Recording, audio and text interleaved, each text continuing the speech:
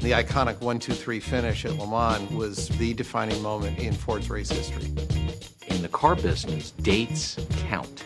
We have the 50th anniversary of Le Mans coming up. Why don't we do another GT?